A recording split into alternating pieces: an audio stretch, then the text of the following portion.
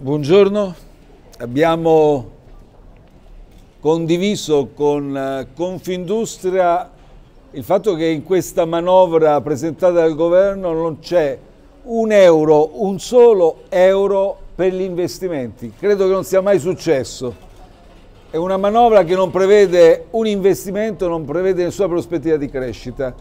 Quindi Meloni porta l'Italia, sarà la Premier responsabile dell'incremento del debito pubblico, perché lo spieghiamo bene, se non cresce ovviamente il PIL, aumenta il debito pubblico e non puoi rientrare, non potrà rispettare la curva del debito che hanno preannunciato. Questo governo va avanti per la sua strada in modo arrogante, in modo autoreferenziale, non accetta un dialogo neppure la dialettica parlamentare e attenzione, non l'ha accettata neppure prima la dialettica ascoltando tutte le associazioni di categoria, le parti sociali, vengono da noi, ci confrontiamo, discutiamo sulle misure, sulle prospettive che l'Italia, questo Paese ha, ma la realtà è che ormai le imprese preferiscono andare in altri paesi. Eh, qualcuno oggi scrive che i sindacati stanno politicizzando lo sciopero ma i sindacati fanno la politica, fanno politica nel senso che difendono le ragioni dei lavoratori.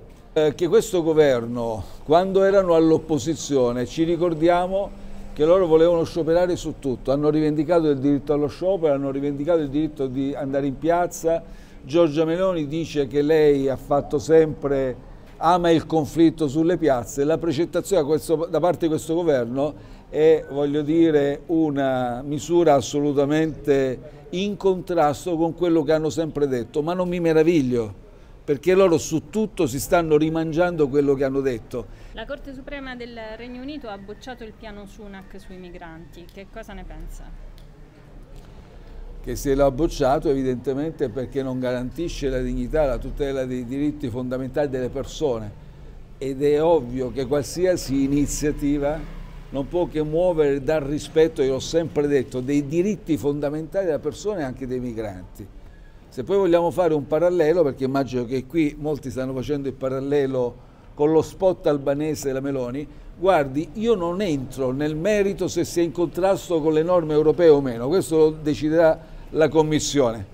Io dico semplicemente che ancora prima è uno spot assolutamente inutile spendere quei soldi, tutti quei milioni, 80 milioni di compensazione all'Albania, 100 milioni fondo di garanzia, tutte le spese vie per i trasporti, per trasportare i migranti, ma che senso ha per parcheggiarli un mese, due mesi in terra albanese e poi riportarli in Italia?